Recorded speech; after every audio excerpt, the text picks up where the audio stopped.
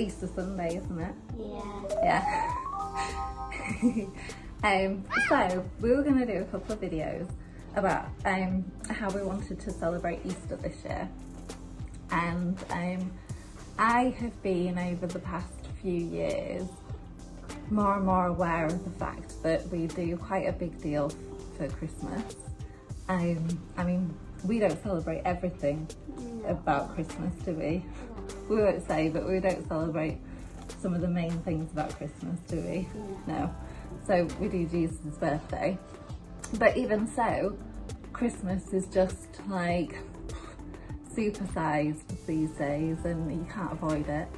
Um, and I'm more and more cautious, like conscious of the fact that really we should be celebrating the, the gospel um, and we should be celebrating that Jesus has died for us and that he rose again and that that should really be a huge focus for us as Christians um, and for us to teach the children and just the whole time of Easter is an amazing time to share the gospel with others um, but also to teach our children. So this year we decided that we would try and decorate our home quite a lot. Um, we've got Easter branches, haven't we? And we made crosses to go on there. Um, we've made a tomb scene and we made um, the women, didn't we? Who did we make? Two Marys. Mary. Mary, Mary. And um, and then we've got Jesus, haven't we? Yeah. And palm trees, and so we've got a whole setup, a little bit like you'd have a nativity setup. We've got a whole resurrection setup, haven't we, with three crosses and everything, so the children can play with it. Um, and then one of my other ideas is what we're going to show you now. So do you want to hold the other side so they can just see it? So we have got here a paper chain. Thank you. And the paper chain, the idea of the paper chain is on each chain, we have written um, either something that you are grateful for in your life today, because we've got many reasons to be grateful. Um, safe place to live, food, loving family, um, we've got many reasons. Or we've written a thank you to Jesus. Um, as obviously he died on the cross for us at this time. So we have, and also I've written some scriptures. Um, so Lucy and Sophie are writing some more now, which I'll read to you in a second. But I've got a couple of things that I'm going to read to you as ideas for your paper chain. So, rejoice always, praise without ceasing, give thanks to the Lord in all circumstances. This year's been quite a hard one for people, um, but rejoice always, pray without ceasing, and give thanks in all circumstances. No matter what's happening in your life, give thanks. Sometimes that's quite a hard one. But I think it's to recognise that this time that we are here, living on earth, is, is really relatively short and um, things that happen will pass, but we will still go to be with Jesus, won't we? And that is always a reason to give thanks. So that's that one. Then I've got give thanks to the Lord for he is good, for his steadfast love endures forever. He is good. He is good. There is no way of um, arguing with that. Jesus is good, Yeah. 100% good, pure, good man. And um, that's something to give thanks for, isn't it? That he chose to take our sin. What have you got there, Sophie? Thank you for forgiving our sins. Thank you for forgiving our sins. Good. Lucy? Thank you for dying on the cross for us. Thank you for dying on the cross for us. So, we're going to hang this up in our home, aren't we? Yeah.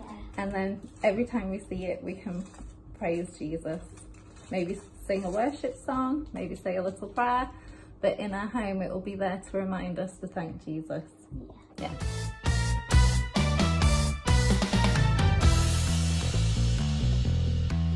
We're going to do um, resurrection buns. I presume a lot of you haven't heard of these but um, they're basically demonstrating the empty tomb.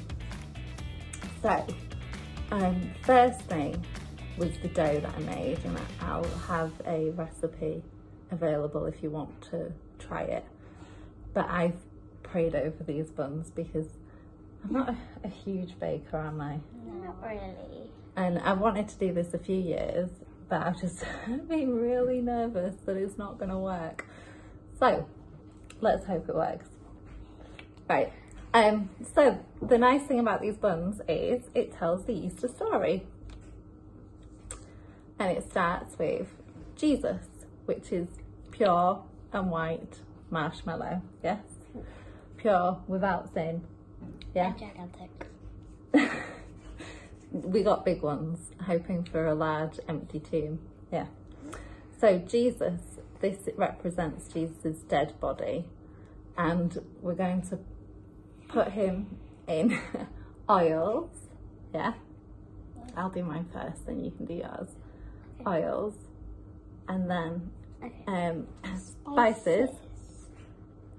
Yeah. Okay. The same way that his body was prepared for um, burial in the tomb. Okay. So this is oh, this is going to be my tomb. Okay. So this body is being prepared, and then I'm going to seal it up.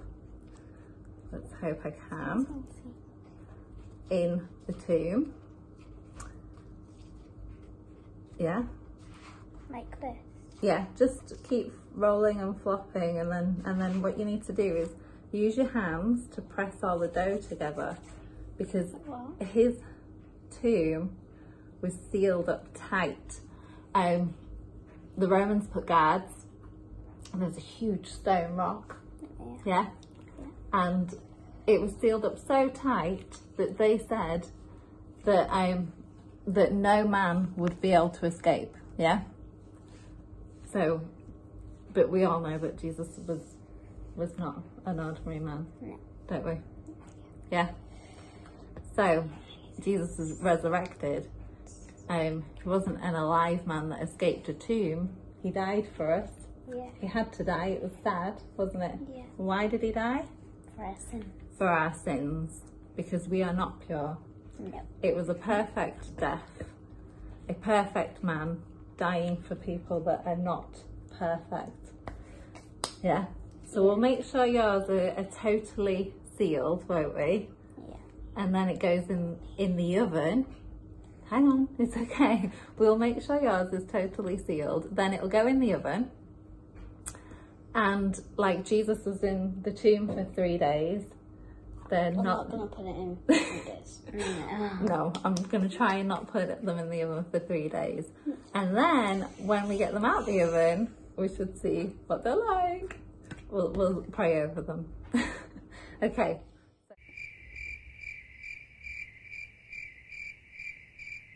Resurrection buns have been in the oven. And um, and as we were saying before, that Jesus went into the tomb for three days. Um, so our buns went in for about 20 minutes. But Jesus went and had this, um, as we were saying, it was like the heat of the oven, this punishment um, of Jesus' body, um, is like being there when we should have been in the oven, in, in the hot heat, Yeah. in the punishment, yes. Like Jesus took all the punishment for us, yeah? Yeah. yeah, and how pure Jesus was, yeah. So then we've cut open our buns, yeah. I'll show you them now, and we can see just there. Look, that Jesus is gone.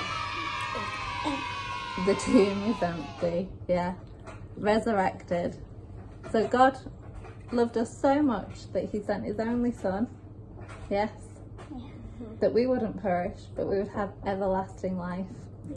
This is what Jesus has given us. This is what Jesus has done for us. And as we see, He's not here. He's not there today, is he? He's not in a tomb today. No. Where is he? In heaven. In heaven. He's alive. Yeah. He's alive. Yeah. So, bless you all. Happy Easter. Um, we pray that you can do something in your family over this time to talk about Jesus, to um, bless him, praise his name, and um, really recognise that um, what he's done for you and your family and teach your children um, the gospel message this Easter. And the buns go okay. Yeah, and yeah, some of our buns didn't go that well. Um, top tip, the large marshmallows, like the really big marshmallows don't fully melt down that well. So maybe like half the size of a really big marshmallow will be better. Okay. God bless you guys. Happy Easter.